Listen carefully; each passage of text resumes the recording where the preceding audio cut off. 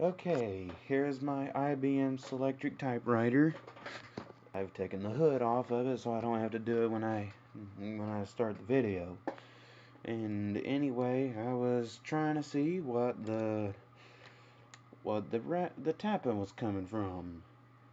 And as it turns out, I thought I thought that the that there was some gumming up in it.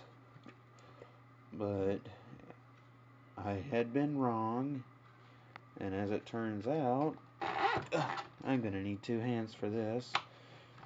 Machine's too heavy. You can take, you can lift this whole thing up. And again, I need two hands.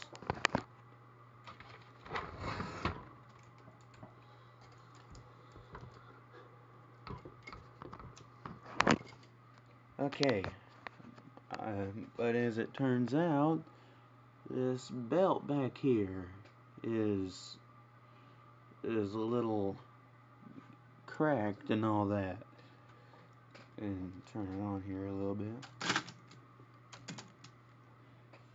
And there's a crack right there. And this belt turns that shaft back there.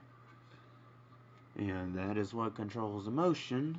Well, some of it controls the motion of the type element. But this right here, it pulls the whiffletree pulley back and that's originally, well, you can't see it. I, have to put the machine down to show you that. And, and probably to need two hands here. Now uh, we can put that back easily. And I'm going to need two hands to get my hand out from underneath the machine. This is not a one, this is not a one-hand job. But this little thing back here is part of the whiffletree mechanism. that controls the motion of the type element.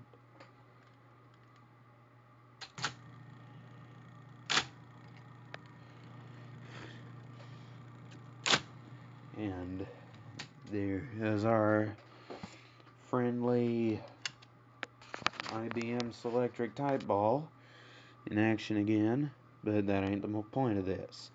The point of this video is I am probably going to need to get a new belt soon. And the thing with the power switch was I had to, this little thing right here was bent a little bit.